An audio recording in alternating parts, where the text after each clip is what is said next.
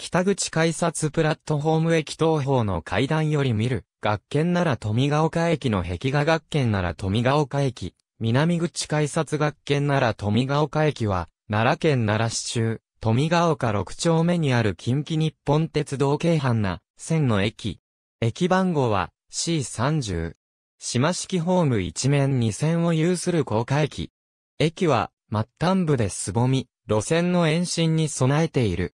改札、コンコースは1階、ホームは2階にあり、改札口はコンコースに面して、南北両側に設けられている。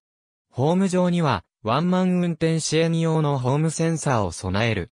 駅事務室は南口寄りに位置し、北口改札外には、奈良交通の案内所がある。生駒駅管理の有人駅で、ピタパイ効果対応の自動改札機及び、自動生産機が設置されている。特急券、定期券は専用の自動券売機で購入可能。当駅開業後の1日あたりの乗降、乗車人員は、下記の通り。当駅は、生駒市と奈良市とにまたがっている上、北東には、京都府相良郡聖火町との府県境も迫っている。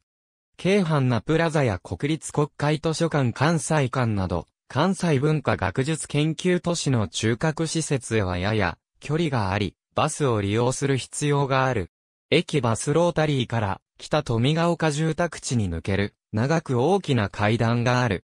この階段は当駅設置のため立ち退いたゴルフ練習場と北富ヶ丘住宅地を結んでいた離道であったが、駅設置に合わせて歩道として改修された。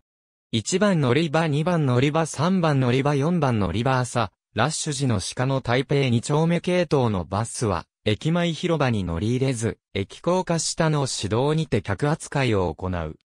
指導沿い、南向かい乗り場指導沿い、北向き乗り場大括弧内の数字は、系統番号を表す。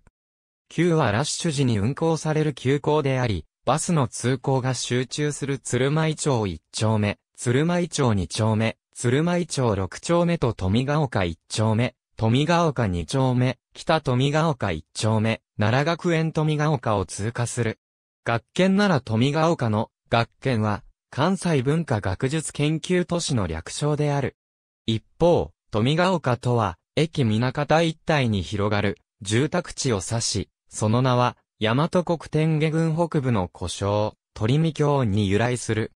富は、鳥見、富、登る渡るなどとも表記され、富、鳥見、富など、現在の奈良市西部から、生駒市東部の地名にも連なる。